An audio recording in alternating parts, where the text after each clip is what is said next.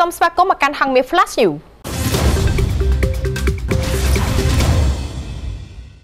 ប្រធានមន្ត្រីអប់រំយុវជននិងកីឡារាជធានីភ្នំពេញបានប្រកាសថានៅក្នុងឱកាសទិវានៃក្តីស្រឡាញ់ថ្ងៃទី14កុម្ភៈស្អែកនេះមន្ទីរមិនអនុញ្ញាតឲ្យមានការលក់ផ្កាដែលជាកាដូសម្រាប់ជូនសង្សារនៅក្រៅបរិវេណសាលារៀនទេ លោកហែមស៊ីណារ៉េតបានណែនាំដល់នាយកសាលាទាំងអស់ត្រូវសហការជាមួយអាជ្ញាធរមូលដ្ឋាននៅក្នុងការទប់ស្កាត់ឲ្យបាននៅការលក់ផ្កាដែលជាកាដូសម្រាប់ជូនដល់សង្សារនៅថ្ងៃស្អែកនេះលោកបានបន្តថាមន្ទីរអប់រំបានប្រជុំណែនាំដល់គ្រប់គ្រឹះស្ថានសិក្សារួចហើយដើម្បីពង្រឹងនិងទប់ស្កាត់មិនឲ្យមានភាពមិនប្រក្រតីណាមួយកើតឡើងនៅក្នុងសាលា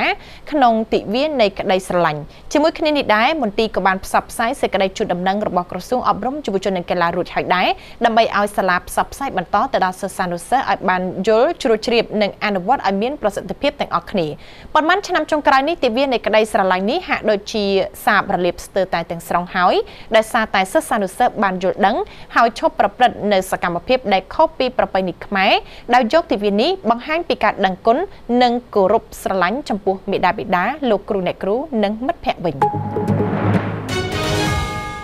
មអាជីវករចំនួន231តូបនៅក្នុងផ្សារកំពង់ស្ពឺបានត្អូញត្អែថាចាប់តាំងពីក្រុមអាជីវករជាច្រើនដែលធ្លាប់លក់នៅលើដីលោកឈួនកំសានមកលក់ដូរនៅត្រង់ចំណុចរងមូលដើមលៀបមុខផ្សារកំពង់ស្ពឺធ្វើឲ្យពួកគេដែលមានតូបនៅក្នុងផ្សារលក់ដូរមិនដាច់ទេព្រោះពលរដ្ឋឈប់ចូលផ្សារអស់ហើយគេទិញតែនៅខាងក្រៅ ក្រុមអាជីវករបន្តថាពួកគេបាននាំគ្នាផ្តិតមេដាយដាក់ពាក្យបណ្ដឹងទៅអាជ្ញាធរក្រុងច្បាស់មុនជាច្រើនលើកច្រើនសាររួចមកហើយដើម្បីសុំឲ្យក្រុមអាជីវករទៅលក់ត្រីសាច់និងបន្លែបង្ការនៅដីលោកឈួនកំសាន្តវិញតែគ្មានដំណោះស្រាយសោះលោកតឹមផាណូអភិបាលក្រុងច្បាស់មុនបានឲ្យដឹងដែរថាលោកបានឲ្យគណៈកម្មការផ្សារហើយក្រុមអាជីវករទាំងអស់ ទាំងអ្នកលក់នៅក្នុងផ្សារនិងអ្នកលក់នៅក្រៅផ្សារត្រង់រងពងមូលមុខផ្សារឲ្យមកប្រជុំរកដំណោះស្រាយនៅសាលាក្រុងនៅរសៀលថ្ងៃច័ន្ទនេះលោកបានសន្យាថានឹងព្យាយាមសម្រាប់សម្រួលក្រុមអាជីវករទាំងពីរឲ្យត្រូវគ្នាវិញ សមត្ថកិច្ចធ្វើការខាត់ខ្លួនជនសង្ស័យបានម្នាក់នឹងដកហូតបានថ្នាំញៀន21កញ្ចប់ពេលចុះល្បាតនៅក្នុងភូមិសាស្ត្រត្រង់ចំណុចផ្លូវលំក្រាលគ្រុកក្រហមស្ថិតនៅក្នុងភូមិថ្នល់កែងឃុំត្រពាំងប្រាសាទស្រុកត្រពាំងប្រាសាទខេត្តឧត្តរមានជ័យខណៈនៅពេលចុះល្បាតក៏ប្រទះឃើញមុខសញ្ញាធ្វើសកម្មភាពគួរឲ្យសង្ស័យក៏បានធ្វើការខាត់សួរនាំនិងឆែកឆេររកឃើញម្សៅក្រាមសថ្លាសង្ស័យជាសារធាតុញៀនមួយចំនួននៅក្នុងកាបូបស្ពីជាប់ខ្លួន ជាប្រភេទមេតាំហ្វេតាមីនជនសង្ស័យដែលខាត់ខ្លួនបានឈ្មោះថាហេងច័ន្ទវាសនាអាយុ23ឆ្នាំរស់នៅភូមិទំនប់ខ្នល់ឃុំត្រពាំងប្រាសាទស្រុកត្រពាំងប្រាសាទខេត្តឧត្តរមានជ័យនៅចំពោះមុខវត្ថុតាងដកហូតមានដូចជាថ្នាំញៀនប្រភេទមេតាំហ្វេតាមីនចំនួន21កញ្ចប់តូចនិង1កញ្ចប់ធំកាបូបស្ពាយចំនួន1បច្ចុប្បន្នជនសង្ស័យរួមនឹងវត្ថុតាងបានខាត់និងរក្សាទុកនៅអធិការដ្ឋានស្រុកដើម្បីកសាងសំណុំរឿងបញ្ជូនទៅការិយាល័យជំនាញខេត្តចាត់ការបន្ត រថយន្តមួយគ្រឿងបានបុកម៉ូតូពីរគ្រឿងពេញទំហឹងនៅក្នុងទិសដៅបញ្ច្រាស់គ្នានៅផ្លូវជាតិលេខ4ចន្លោះបង្គោលគីឡូម៉ែត្រលេខ205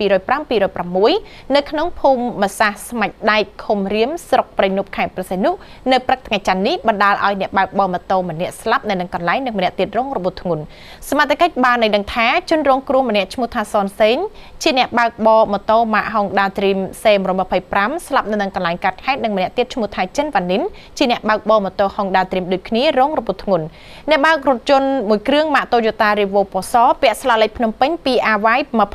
2856ឈ្មោះលឹមសុកជាភេទប្រុសអាយុ37ឆ្នាំត្រូវបានសមត្ថកិច្ចឃាត់ខ្លួនភ្លាមៗហើយនាំយកមកដោះស្រាយតាមនីតិវិធីនៅអធិការដ្ឋាននគរបាលស្រុកព្រៃនប់សមត្ថកិច្ចសន្និដ្ឋានថាគ្រោះថ្នាក់ចរាចរណ៍នេះដោយសាររថយន្តបង្កនេះបានឡើងវ៉ាជែងយានយន្តនៅខាងមុខក៏ជ្រុលទៅបុកនឹងម៉ូតូទាំងពីរគ្រឿងនៅក្នុងទិសដៅផ្ទុយគ្នាជាបន្តបន្ទាប់ លោកជំទាវជូប៊ុនអេងរដ្ឋលេខាធិការក្រសួងមហាផ្ទៃនិងជាអនុប្រធានអចិន្ត្រៃយ៍គណៈកម្មាធិការជាតិប្រយុទ្ធប្រឆាំងអំពើជួញដូរមនុស្សបានក្រានរំលឹកដល់កុមារាកុមារីយុវជនយុវនារីទាំងអស់ឲ្យមានការប្រុងប្រយ័ត្នខ្ពស់ចំពោះជនឆបោកតាមប្រព័ន្ធអ៊ីនធឺណិតជាពិសេសគឺតាមបណ្ដាញសង្គម Facebook នេះតែម្ដងនៅក្នុងពិធីយុទ្ធនាការគ្រប់គ្រងទិវាអន្តរជាតិដើម្បីសុវត្ថិភាពអ៊ីនធឺណិតតោះនាំគ្នានិយាយអំពីការប្រើប្រាស់អ៊ីនធឺណិតប្រកបដោយសុវត្ថិភាពសម្រាប់កុមារនាព្រឹកថ្ងៃទី13ខែកុម្ភៈនេះនៅសាលាតិចណូលោកជំទាវជូប៊ុនអេងបានលើកឡើងថានាពេលបច្ចុប្បន្ននេះ ប្រព័ន្ធបច្ចេកវិទ្យានៅប្រទេសកម្ពុជាបានកំពុងរីកចម្រើនឥតឈប់ឈរគឺជាសក្តានុពលមួយដែលផ្ដល់អត្ថប្រយោជន៍ជាច្រើននៅក្នុងការជំរុញនិងពន្លឿនការអភិវឌ្ឍសេដ្ឋកិច្ចនិងសង្គមប៉ុន្តែទោះបីជាយ៉ាងនេះក្តីជនខិលខូចក៏បានឆ្លៀតឱកាសយកប្រព័ន្ធអ៊ីនធឺណិតនេះសម្រាប់បោកប្រាស់ដើម្បីតែផលប្រយោជន៍ផ្ទាល់ខ្លួនផងដែរលោកជំទាវបន្តថានៅពេលបច្ចុប្បន្នប្រទេសកម្ពុជាត្រូវបានជនខិលខូចយកធ្វើជាជំរកសម្រាប់ធ្វើការជួញដូរមនុស្សនិងឆបោកមនុស្សតាមប្រព័ន្ធអ៊ីនធឺណិតនេះប៉ុន្តែជនរងគ្រោះគឺមិនមែនជាខ្មែរយើងនោះទេគឺសុទ្ធតែជាជនបរទេសដែលត្រូវបានជនបរទេសដូចគ្នាធ្វើការបោកបាច់ឆោត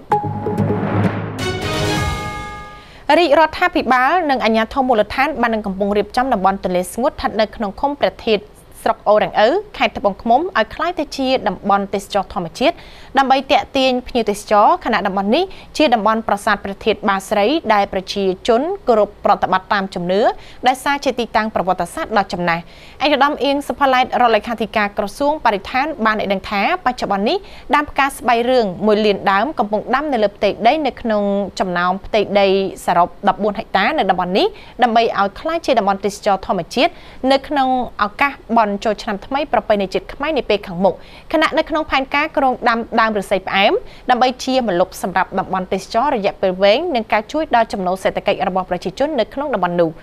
នៅក្នុងឱកាសចុះពិនិត្យទីតាំងដាំផ្កាស្បៃរឿងកាលពីថ្ងៃម្សិលមិញនេះដែរឯកឧត្តមក៏បានបញ្ជាក់ថាគឺនឹងរៀបចំតំបន់ទន្លេស្ងួតដែលមានផ្ទៃដី14ហិកតាឲ្យក្លាយជាតំបន់ទេសចរធម្មជាតិសូមអរគុណចំពោះការគាំទ្រហងមី Flash You